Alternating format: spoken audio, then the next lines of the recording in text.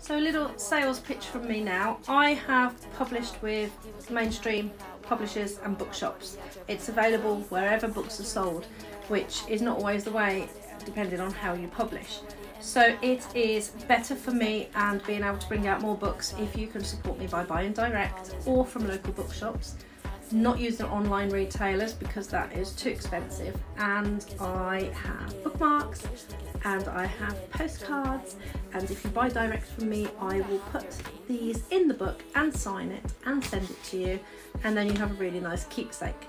Because this is like Star Wars come Matrix and I love it and I think it's going to do um, really well. I think you will like it too. If you like Star Wars and Matrix and Hunger Games, you're going to love this.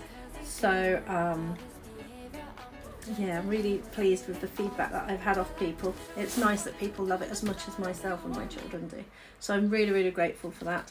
So do have a look. I will. I have my website where you can buy direct in the link, or please help support high street bookshops because they are struggling to sell things. People are buying online, people are not going out and shopping.